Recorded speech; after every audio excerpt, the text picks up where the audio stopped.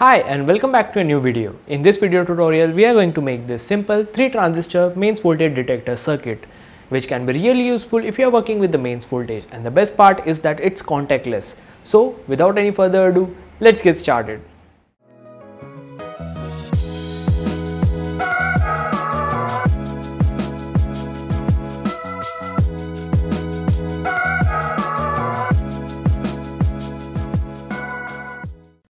This video is sponsored by JLC PCB. From them you can order your PCBs only for $2. Just upload your Gerber files to their website and then you can choose any color solder mask for the same price of $2, which is sweet. They offer service for 2 layer, 4 layer and 6 layer PCB. You can also order your SMD stencil along with your order. Now they have even started the PCB assembly service only for $7. So click the first link in the video description to learn more. To make this project possible, all we need is 3 NPN transistors. I used 3904 because I had them lying around, but you can pretty much use any NPN transistor like BC547.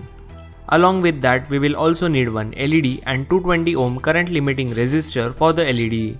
Now all we have to do is simply solder this hardware onto a piece of PCB as per the schematic. You can download the schematic from my website, link is in the video description. But how does this circuit work? Well, the antenna is connected to the base of first transistor and we all know transistors are used for amplification purpose.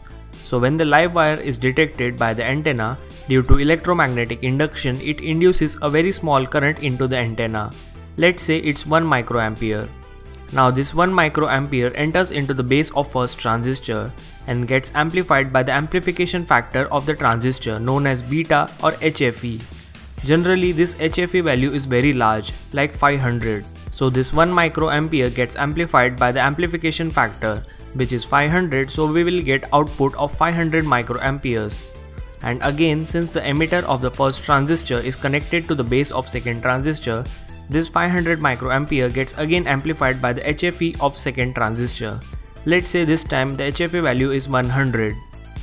So this 500 microamperes will get amplified by 100 so output current will be 5000 microamperes or to simplify 5 milliamperes.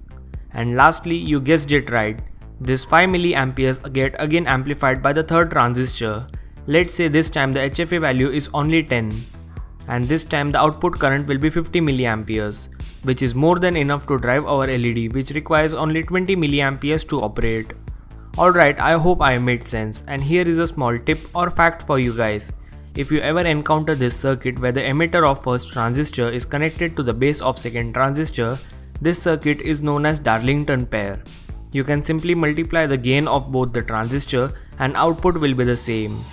Once the circuit is complete, we need to attach the antenna, which is basically a capacitor.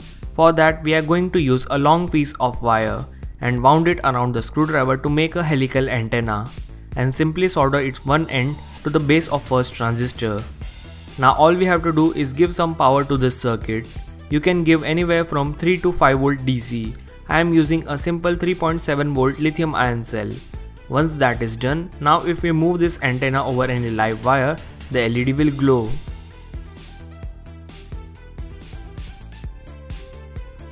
And that's pretty much it for this video guys. I hope you enjoyed this video. If you need any more information about this topic, you can visit my website, link is in the video description. And don't forget to like this video, share this video with your friends and subscribe for more awesome content like this and I will see you guys in the next one.